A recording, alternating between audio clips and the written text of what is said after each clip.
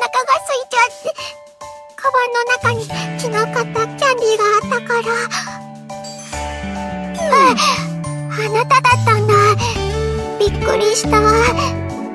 部室でお菓子は食べちゃダメって、この前お姉ちゃんに言われてたから、慌てちゃった。今日は練習いっぱい頑張って、遅くまでようちゃんと衣装のこと考えてたからお腹からつい。えキャンディーはいいの？そっか。確かにのど飴はセーフってみんなも話してたかも。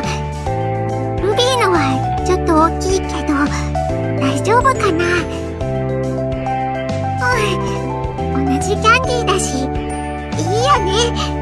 2本あるから。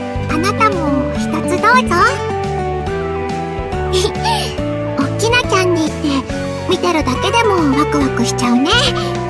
この渦巻きのペロペロキャンディーって小さい頃にすっごく憧れてたんだ。お姉ちゃんとお揃いで買ってもらって舐めても舐めても減らなくてルビーにとってはまるで魔法のキャンディーだったんだよ。でも、大きくなって食べきれるようになって、魔法が解けちゃったみたいで、少しだけ寂しかったな。でも、見つけるとつい買っちゃうの。うん、いちごミルク味だ。しっかり味がついてるペロペロキャンディって。いいな。贅沢してるなって気分になるよね。二人で食べるととっても美味しいね。このことはルビーとあなたの